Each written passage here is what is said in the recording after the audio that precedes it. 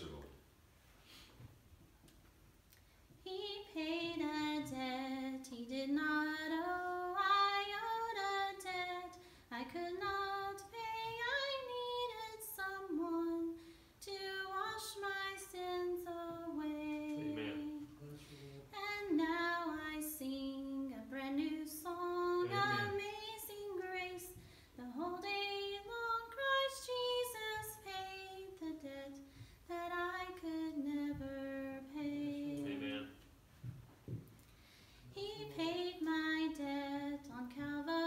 Yes, he did. Amen. my soul and Amen. set me free. Amen. That's right.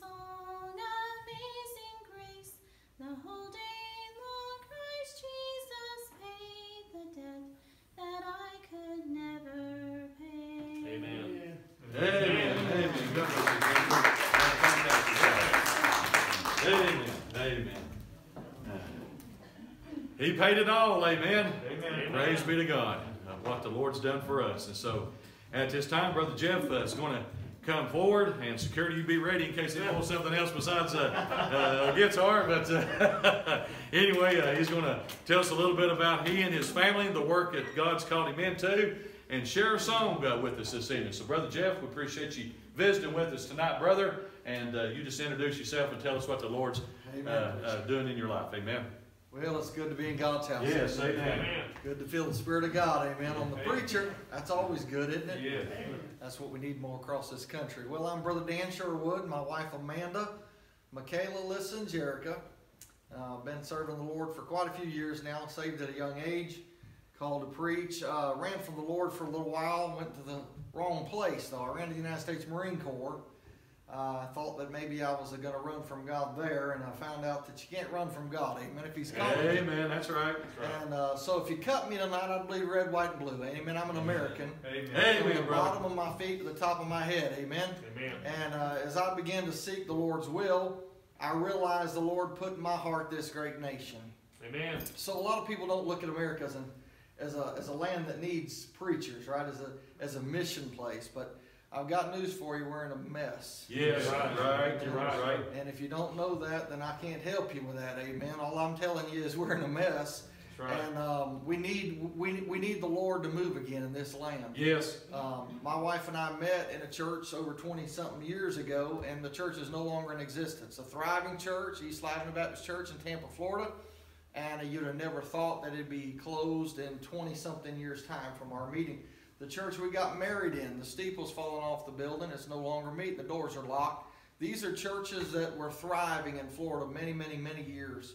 And um, God began to burden our hearts. So we went out west, we went out to Idaho, we went out to South Dakota and Montana, and spent some time out in the west starting churches, established three churches, and pastored some. And evangelism now, just trying to reach out to uh, to strengthen the things that remain. That's the Lord's. That's the verse that the Lord put on my heart was to strengthen the things which remain. You know, there's some things left that we need to strengthen. Yes. Amen. Amen. If we don't take a stand, if we don't keep standing like we have over the years, this thing's going to go under quicker than it's going. Amen. Yes. And uh, Amen. so That's you right, help brother. us pray because we uh, we're just we're just locals. I work a job. I'm, I'm, I'm I've been working for myself. The Lord gave me a good business. I do work in insurance and financial planning and retirement planning. I get to see a lot of folks, and um, so we take care of ourselves in that manner. We don't beg churches for money. I, I go around and I preach as God leads. I go around, we sing. We've been a blessing in a lot of places. And of course, the Lord's always provided. Can I get a witness? Yes. If God ever, I mean, David said, I've been young and now I'm old. I've never seen the righteous forsaken nor seed begging bread." Amen. Is that right? Amen. God's been better to us than we deserve. Amen. In this Amen. nation. But Um, I, I plan on standing until the day I die. Amen. Yes, sir. That's my Yes, sir. plan. That's my plan. to stand until Jesus comes. Um, and you say, well, I can't do a whole lot, brother Dan. Well, the Bible said, having done all, stand. Right? Amen. There's Right. not well, there's not one person in here that can't stand. Amen. I mean, stand your ground when people come and ask you what you believe and how you stand. Uh, Just pick up that old King James Bible. Amen, brother. Amen. Amen. And say, I just believe what God had to say. Amen. That's right. Amen. You know, that's that's what we can do in this day and era. I'm not I'm not laying down the sword, the shield of faith. I believe as it gets darker, it just gives us an opportunity to get brighter. Amen. Right. Right. Amen. Right. So my wife's coming. They all help me sing. And uh, no, it's not anything other than a guitar. although, I, although I have been known to carry something before, I do believe every God-called man in this country ought to carry something. Yes, sir. Amen. Amen. Y'all take that for what it's worth. Uh, but I believe we ought to carry something, Amen. amen. Right. And make sure our family's protected Amen. and times we live, amen. Amen. Well, it's a good thing to sing thank you, Lord. Let's just sing some thank you, Lord. You know, Bless it won't, it won't bother God. It won't bother God at all if you always want to thank Him a little bit tonight. Amen. Amen. That's right. We could never thank Him enough. Is that right? That's right. Looky here, y'all got a friend singing with you. Ain't that nice? Isn't that nice? Well, she must really like y'all. All right, y'all, let's sing loud on this. Thank you, Lord, for your blessings.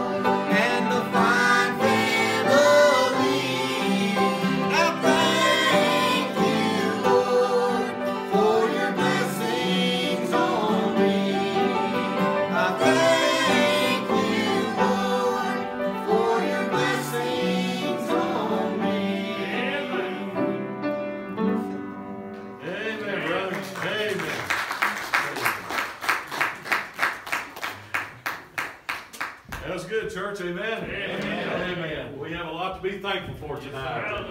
Uh, beloved, uh, I like what brother brother Dan said.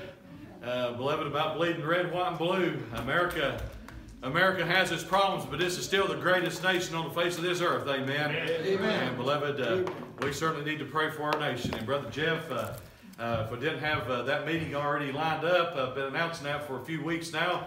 Uh, but uh, I'll be back in touch with you, brother, and maybe we can have you back in, uh, in the days to come. Amen. And uh, you said uh, you said you'd uh, been saved for how many years now? Oh goodness, uh, 39 years. 39 years. My goodness, did y'all have a prearranged marriage? Because neither one of them is looking a day over 29. And amen. And are, are these adopted children? Amen. well, when I was listening to his testimony, I was like, my goodness, they must have had a. Six. but I'll take 29. Uh, when he said that, I'm like, my soul, he don't look a day over 29 at all, and everything. And so, uh, anyway, we sure appreciate y'all being here tonight. Uh, brother, I'll, I've got your card up here, and I'll be getting back in touch with you. Maybe have you back over if that'll be okay, brother. But thank you for being here tonight. Amen. Amen. Well, if you have your Bibles with you tonight, uh, turn to the book of Second Timothy. Uh, we've been studying the book of Second Timothy, and uh, we're in verse, uh, or excuse me, chapter number three, and and we're in verse number three. And I know we've been on these uh, these uh, characteristics and these traits and lifestyles for several weeks. Uh, and you say, preacher, why are you going over this in such great detail? And everything. Well, beloved, a lot of times when people do their Bible reading, they read over words and they don't completely understand exactly what the scriptures are saying. Uh, some people understand, some don't. And so that's why we're looking at these in depth. And so that way, when you're reading other portions of Scripture, and this is reference to, you'll understand a little bit more about what you're reading and what God's trying to say. Amen. And so, anyway, 2 Timothy chapter number 3. Uh, chapter number 3, we'll pick up reading of verse number 1, and we'll read down through verse number 4 here this evening. Uh, 2 Timothy chapter 3, verse number 1, the Word of God tells us this Know also, uh, beloved, uh, this, this affirmation in this portion of Scripture has came true. Yes, it's sir. happening right before our very eyes. Amen. Yes, sir. Uh, this know also that in the last days perilous times shall come. Amen. For men shall be lovers of their own selves, covetous, boasters, proud, blasphemers, disobedient to parents, unthankful, unholy, without natural affection, truce breakers, false accusers, incontinent, fierce, despisers of those that are good, traitors, heady, high-minded, lovers of pleasures more than lovers of God. Let's stop right there and let's go to the Lord in prayer and ask the Lord to bless the reading of the scriptures here this evening. Dear kind and gracious Heavenly Father, we are thankful for this time that you've allowed us to come to your house Yes. and worship Thee in spirit and truth. And Lord, uh, we do come to Thee with thanksgiving in our heart for the very breath of life you've given us to enjoy creation and for the shoes on our feet and the clothes on our back, dear Lord, and for uh, a place to come to, dear Lord, uh, with other believers uh, to gather together to worship Thee in spirit and truth. And we're thankful for Your Word and for the instruction in truth and guidance that we receive from Thy Word. And Lord, we can say that we love You tonight because You first loved us. And Lord, as we look to the bread of life tonight, Lord, I pray that you'd feed our spiritual souls. Yes, Lord. I pray that we all would open up our ears and our hearts to the preaching of thy word, that we'd be closer drawn to thee tonight, Father. And Lord, I'd ask and pray tonight that you would help me as I preach. Yes. Lord, I'd ask that you give me that anointing of the Holy Yes. Ghost to preach with clarity of thought and clarity of speech. Strengthen my voice and my lungs tonight that I may be able to declare thy blessed word. And Father, if there's one here tonight that's in our midst, that's unsure or lost and never trusted your Son, Jesus Christ, as Lord and Savior, I pray that you convict their heart of sin. Uh, Lord, uh, convict their heart of judgment to come. And I pray that they'd come forward tonight and be born again before it's eternally too late. And Lord, we just thank you and praise you for what you've done. And Lord, we thank you and praise you for what you're going to do. For it's in Christ's name we do ask it all. And amen. Amen. Last week we left off verse number three without natural affection, truce breakers, false accusers, incontinent. And tonight we're going to pick up with fears. Uh, beloved, we're living in a society today where people are hateful. Uh, this word translated here literally means to be brutal, uh, to be severely unkind. Is that not the generation that we're living in today? Right. Uh, as uh, uh, the dear brother and his family sang about, thank you, Lord, and we should be thankful for all the many blessings that God gives us each and every day. There are people today that are unthankful. There are people today that hate Christianity. There are those that hate truth and righteousness, and they're brutal about it, uh, beloved. Uh, they uh, cut no slack. Uh, they take no prisoners, if you will. Uh, beloved, they, uh, uh, they are unloving and they are unkind. And beloved, that is the generation and society that we're living in today. And beloved, if you're a Christian, uh, don't think that that's going to put you at the top of the popularity polls tonight. Uh, beloved, if you make a stand for Jesus and you stand up for truth and righteousness and you proclaim Thus saith the Lord, you're putting a bullseye on your back. And let me tell you something people are going to mock you, people are going to persecute you, people are going to be unkind to you. You may get looked over for that job promotion. You may not be asked to go out on the fellowship dinner. But bless God, I'd rather be in the center of God's will and stand up for truth and righteousness and be a light in this dark and dying world than have the approval of men. Amen. We ought rather to be more concerned about pleasing our Heavenly Father than about pleasing men. Amen. And beloved, you can rest assured tonight that if you live for God, you're going to suffer persecution. Ask yourself this question Jesus Christ, who was the incarnate God, came here to this earth to seek and to save that which was lost. He came to his own. His own received him not. He was mocked. He was despised. He was rejected. And this is the King of Kings and the Lord of Lords we're talking about. And beloved, if they treated, if mankind treated Jesus that way, don't think for a second they won't treat us that way. Amen. And so, beloved, uh, uh, tonight, uh, beloved, as you go outside these doors and you desire to be a light and be a witness and be an encouragement to others, you better be ready for some unkind things to be said to you. And you better be ready to suffer persecution tonight. The Bible tells us in Matthew chapter 5, verse number 7 Blessed are the merciful, for they shall obtain mercy. Uh, beloved, with so much civil unrest and social unjust that's taken place in our nation tonight, uh, beloved, the election outcome is not going to change that. I don't care who's placed into office, there's still going to be social unrest. There's still going to be division. There's still going to be discord. The only way that we will unite together in one spirit, in one accord, is for all men, no matter of their of their of their color, no matter of their race. It's for all men to come to the saving knowledge of the Prince of Peace. Amen. Blessed are the peacemakers. Amen. Amen. And beloved, Jesus Christ is the Prince of Peace. And beloved, when an individual gets saved, he'll look past differences and he'll see the value of that person's soul. Amen. And he'll realize that this person is my neighbor. And he'll understand when the scriptures teach us, thou shalt love thy neighbor as thyself. Uh, beloved, your neighbor is not the person that lives next to you or across the street from you. The neighbor that you and I come into contact with as a child of God is whoever comes across your path Amen. that day. Right. That is your neighbor.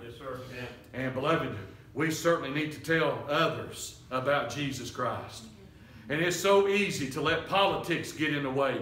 It is so easy to let flesh take over our thinking and our actions. Right. Uh, beloved, I, I'll be honest with you. When I watch the news and I hear discussions take place out in the workplace and out in the community, there are times, and excuse the pun, that I plumb get fighting mad about some things.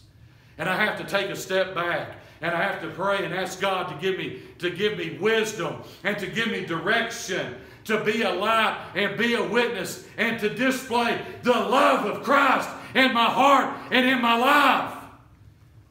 The way to overcome evil is not with evil, but with good. Right. Mm. And we've all heard this saying we need to kill them with kindness. And sometimes, what people, the reason they rebel, the reason they act the way that they do, is to get attention. They're crying out, Somebody listen to me. Somebody care for me. And it breaks my heart when I hear testimony of some of these little boys and girls, the teenage boys and girls, and they go off and they get into trouble, and you hear their testimony, and they say, All I ever wanted is for mama and daddy to pay attention to me and to love me. They're starving for love. Amen. And beloved, Jesus Christ tasted death for every man. Right. And beloved, even though we cannot love with that agape type of love that Jesus Christ loves with, beloved, you and I can have the love of Christ in our heart and we can love others and look past our differences and look past skin color and look past race and see the most valuable thing that that individual carries is their soul. Amen. What shall it profit a man if he shall gain the whole world and lose his own soul. And Jesus Christ knew a little bit about business. What shall it profit? What are you going to gain from this? If you have everything the world has to offer and lose your own soul, still won't be enough. Right. And so, beloved, we need to realize the importance of an individual soul and tell them about Jesus Christ. The Bible tells us in Romans chapter 12, verses 17 through 21 recompense or repay to no man evil for evil. Provide things honest in the sight of all men. If it be possible, as much as lieth in you, now notice the command, live peaceably with all men. If it be possible, as much as lieth within you. Now, beloved, there are some people that you're going to come across you are not going to be able to talk to reasonably or sensibly. But, beloved, you've got to try. You've got to try. If it be possible, as much as lieth within you, live peaceably with all men. Uh, beloved, some, uh, some people today don't even give peace a chance. Uh, they make a stand, they make a statement, and they say this is the way it is, and they, they soon fight you over, over something instead of trying to work it out and live peacefully. Yeah. Uh, beloved, as a child of God, uh, beloved, we ought to seek after peace. Amen. The Bible tells us, blessed are the peacemakers. Notice here in verse number 19, dearly beloved, avenge not yourselves, but rather give place, uh, uh, dearly beloved, avenge not yourselves, but rather give place unto wrath, for it is written, Vengeance is mine, I will repay, saith the Lord. Uh, beloved, why don't you uh, turn that thing over to the Lord, make it a matter of prayer, and let Him take care of it. Now, beloved, there's been times that I've been fighting mad. I've wanted to put on the boxing gloves. That probably never bodes well for me to do that. Uh, it seems like every time I get in a situation, somebody's larger and stronger and quicker than I am. And I'm like, how come I always get in these situations? but the fact of the matter is, there's been times that I took a step back and said, Lord, I'm going to turn this over to you. Now listen, I don't compromise and I don't apologize for what's right, amen. That's right. But there are some people that you're simply not going to change their mind. And if you try to get back and you try to get even, just like the flesh urges us to do, you're not going to make the situation any better. You're only going to make it worse. Amen. And beloved, when you get into an argument and you give, you give over to wrath and give over to anger, anger, uh, beloved, if you're not careful, you'll end up losing your testimony. That's right, that's right. There'll be some adjectives, there'll be some vernacular that comes out of your out of your mouth that is not well pleasing to the Lord. And then after after it comes out of the tongue, and by the way, do you remember when we studied about the tongue in James chapter 3? We went into that in great detail, did we not? The tongue, no man can tame. But beloved, once those words are out, you can't grab them and put them back in. The damage is already done. And so the best thing to do is just commit it to the Lord, to the righteous judge, and let Him work it out and let Him take care of it. And that way you can still maintain your testimony and still have power and still be a light. But if you get out here and show yourself and have a bunch of words that come out of your mouth uh, that bring shame and reproach upon the name of Jesus Christ, and you say, I'm sorry, let me tell you about Jesus and invite you to come to church, they're going to look at you and laugh at you. And they're going to call you the H word. And we all know what that is, don't we? Hypocrite. And so, beloved, be careful about taking judgment into your own hands. Dearly beloved, avenge not yourselves, but rather give place unto wrath, for it is written, Vengeance is mine, I will repay, saith the Lord. Therefore, if thine enemy hunger, feed him. If he thirst, give him drink. For in so doing, thou shalt reap coals of fire on his head. Be not overcome of evil, but overcome evil with good. How about that? Amen. Kill them with kindness. That's right. And then notice the next thing here uh, that uh, the, the scriptures give us uh, despisers of those that are good. Uh, beloved, let me tell you something. This world hates Christianity. That's right. It is just that simple. And the world that we live in is so filled up with religion. Christianity is not a religion, uh, it's a way of life, it's a relationship with Jesus Christ. And beloved, if you stand up for the Lord, you can rest assured that you're going to suffer persecution, you're going to, uh, you're going to be mocked, and you're going to be made fun of. The Bible tells us in 1 Corinthians chapter 4, in verses 9 through 14, uh, the Word of God tells us For I think that God has set forth us, the apostles, the apostles last, as it were appointed to death, for we are made a spectacle unto the world, and to angels, and to men. We are fools for Christ's sake, but you are wise in Christ. We are weak, but you are strong. You are honorable, but we are despised. Even to this present hour, we both hunger and thirst, and are naked, and are buffeted, and have no certain dwelling place, and labor working with our own hands. Being reviled, we bless. Being persecuted, we suffer it. Being defamed, we entreat. We are made as the filth of the world and are the offscouring of all things unto this day. I write not these things to shame you, but as my beloved sons, I warn you. And beloved, just as the Apostle Paul was warning the believers here at the church of Corinth, hey, let me tell you something. Rejoice, as we talked about this morning, and thank God for the gift of salvation that God has given each and every one of us. Amen. Amen. But, beloved, when you announce that on Facebook and you tell your family about it, not everybody's going to rejoice about your decision for Jesus Christ. That's right. Uh, the Bible says that the, uh, the, the enemies of a man are that of his own household. Sometimes your own family will make fun of you and mock you because of your faith and trust in Jesus Christ. But, beloved, your family didn't die on the cross for your sins. Jesus Christ did. Amen. And, beloved, you're to put Him first and foremost in your life. Now, yes, you ought to love your parents and you ought to love your children. But as a child of God, your first love is Jesus Christ. Amen. Bible talks about hating your father and mother, and I've had people come up and ask me about that portion of Scripture that's shared in the gospel accounts. Uh, beloved, Jesus Christ is not teaching individuals to hate their parents. That word hate translated means to love less. Right. Yes, you're to honor your father and mother, and you're to love your parents. But there's one that you're to love above them, That's right. and it's Jesus Christ. Amen. That's right. Now, my dad's here tonight. I hope he's still awake. And he gets back there in that security room by himself. Sometimes I think he has a tendency to catch a few winks. and so we may have to go back there and check on him here in a minute. I love my dad with all my heart. He's my best friend. He's my role model. He's my hero. Yeah, Dad, I'm hitting you up for something if you're listening. my wife is here. I love my wife with all my heart. She's my soulmate. She's my helpmate. I thank God for her and I love her. And just as much as my wife is forgiving, and trust me, she is, there's one that has forgiven more than her. And that's Jesus Christ. Amen.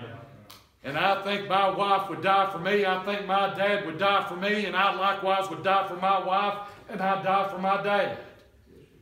Beloved, there's one that died for all of us, amen. Amen. And that's Jesus Christ, who shed his blood on the cross of Calvary, that all those that by faith call upon his name can have eternal life through him. Praise be to God. Amen.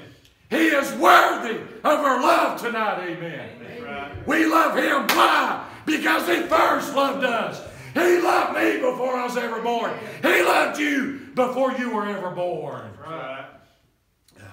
And people today come up to me and say, Preacher, I love God, and uh, he's, he's my first love, and I love Him, and I live for Him. But yet they haven't been to church in six and eight months. There's willful sin in their life, and they advertise it on Facebook. They're not ashamed of their lifestyle. Jesus said, If you love me, you'll do what? You'll obey my commandments. Amen. That's right. That's how we demonstrate our love for the Lord, is obeying His word. And when I hear people say that, and I look at them and I identify their lifestyle and what they're doing, I'm like, well, you must not love Him too much because there's a lot of disobedience in your life. There's something wrong. Right. And beloved, tonight, what's wrong with our nation? Uh, beloved, the judicial system is a mess, is it not? That's right. The political system is a mess tonight. Uh, beloved, our nation, as Brother Dan said, is in a mess tonight. Amen. And beloved, our churches tonight are in a mess. There is such a great falling away of apostasy, not only in America, but across the world. There's a great falling away tonight. And beloved, what we need is we need revival back in America. Amen. And beloved, what our churches tonight need to reestablish. And I'm not talking about the structure when I'm talking about the church tonight. I'm not talking about the building and the parking lot. That's not the church. That's right. The church tonight are the individuals in here tonight Amen. that have trusted in the one true and living God that are saved. You're the living church tonight. Amen. We're the living church tonight. Amen. Amen. Amen. What we need. We talk about it all the time. We want revival. We need revival in America. But we need to get back to one fundamental truth. That's right. We need to come back to our first love. Amen. is Amen. Jesus Christ. We don't need to be concerned what the politicians say. We don't need to worry about what the courts say. We don't need to worry about what the world says. We just need to get back to our first love. We need to ask God to forgive us. We need to ask God to cleanse us. And we need to ask God for that Holy Ghost power to fall back on our churches. And beloved, it can happen tonight if we get back to our first love. Yes, sir. But we love numbers more than we love God. We love popularity more than we love God. Oh, look here, 5,000 hits on our Facebook page. Keep the movies coming, keep the entertainment coming. And you take a church that preaches hellfire and brimstone, and you put that on Facebook, and you might get three views and get some thumbs down. Come on, brother. And let me tell you something. Give me them thumbs down. That's all right. Amen. Because Jesus said, Blessed are those that are persecuted for His name's sake. That's right. When you give me a thumbs down, you just give me a compliment. Amen. That means I've said something to speak to your heart. Got you thinking anyway. Amen. But beloved, tonight, fears and despises those that are good. If you're going to live for God, you better get ready to suffer persecution. That's right. But you know what? That's only going to be temporary. Because one day when we get into heaven and you stand before God at the judgment seat of Christ and you bow down and you look up to the Lord and you bow down and you look up to Him and praise His name and He's going through and giving you account at the bema seat of Christ for what you have or have not done. If you stood true, if you stood faithful, if you didn't give in, if you made a stand, He'll look down and say, Well done, thou good and faithful servant. Amen. What Jesus Christ is looking for some thoroughly cooked Christians tonight. Are you well done? You'll get that here in a minute, amen. he wants some rare Christians tonight. He's wanting some well done Christians. Amen. Wants some well done Christians. Well, beloved, we'll stop there. That's all I have for us tonight. And at this time, I'd like for musicians to make their way to the instrument. I'd like for everybody to stand, please. Everyone's standing, everyone's heads bowed, everyone's eyes closed. I'll ask a question here tonight. Maybe there's someone here this evening, and the Holy Spirit of God has spoken to your heart, and you're here tonight, and you've never been saved, or you're unsure where you would spend eternity. Friend, if you're here tonight and you've never been saved, or you're not for sure where you'd spend eternity, I'd like for you to raise your hand at this time and say, Preacher, pray for me. I'm not going to come to you and embarrass you. I'm not going to call you out. But I am going to pray for you that you'll come forward tonight and let somebody take the Word of God and show you how you can know for sure heaven will be your home for eternity. Anybody like that? Say, Preacher, pray for me. I'm lost or I'm unsure. Would you pray for me? Just slip your hand up, put it right back down. All right, I speak and say people now. Say, Preacher, when you pray, would you pray for me and my family? Me and my family have many needs, and the Lord knows all about them. And when you pray, would you include me and my family in your prayers? Would you slip your hand up at this time? God bless you. I see those hands. Hands all over the auditorium. God bless you. Dear Heavenly Father, you saw the hands that were raised. You know the needs of your people. And Lord, I pray for each and every person, each and every family that's here. I ask and pray that your hand of blessing would be upon each and every one that's here tonight. And for those that could not be here tonight, Lord, you know their needs, you know their circumstance, and I pray that you would bless them wherever they may be at. And Father, I pray now that you would bless this invitation. Have your will and way. For it's in Christ's name we do ask it all. And now with the heads bowed and eyes closed, as Miss Chris plays the hymn, if God's speaking to your heart, I invite you to come this evening.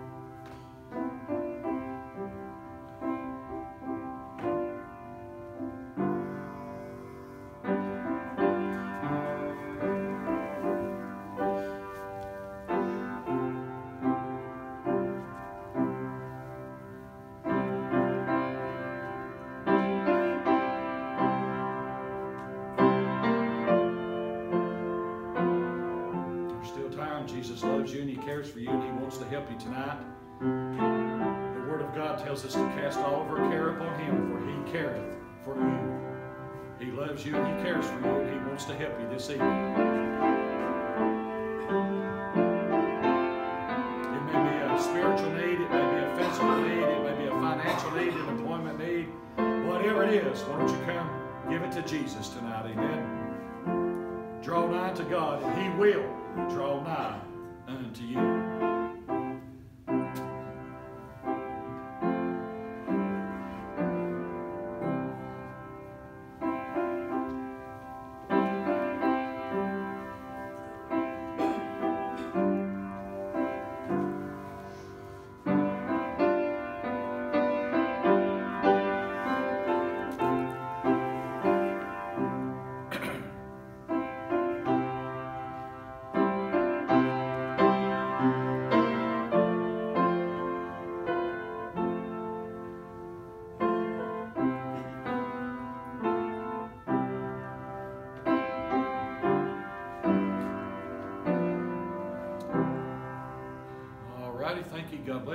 God's people said, Amen. Amen. Well, at this time,